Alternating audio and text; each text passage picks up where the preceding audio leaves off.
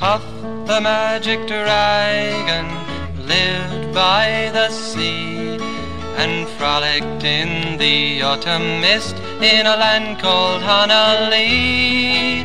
Little Jackie Paper loved that rascal Puff and brought him strings and sealing wax and other fancy stuff. Oh, Puff the magic dragon lived by the sea and frolicked in the autumn mist in a land called Honah Lee.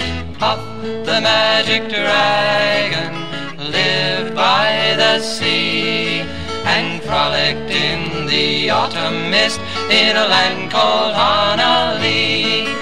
Together they would travel on a boat with billowed sail. Jackie kept a lookout perched on Puff's gigantic tail. Noble kings and princes would bow whene'er they came. Pirate ships would lower their flags when Puff roared out his name. Oh, Puff the magic dragon lived by the sea and frolicked in the autumn mist in a land called Honah Lee. Puff the magic dragon lived by the sea and frolicked in the autumn mist in a land called Honah Lee. A dragon lives forever, but not so little boys. Painted wings and giant's rings make way for other toys. One gray night it happened, Jackie Paper came no more. And Puff, that mighty dragon, he ceased his fearless roar.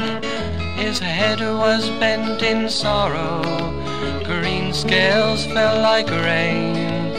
Puff no longer went to play along the cherry lane.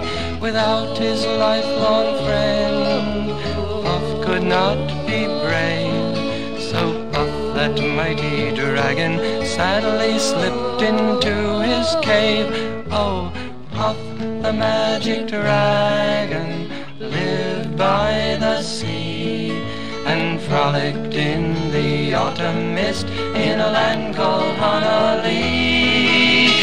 Puff, the magic dragon, lived by the sea and frolicked in the autumn mist in a land called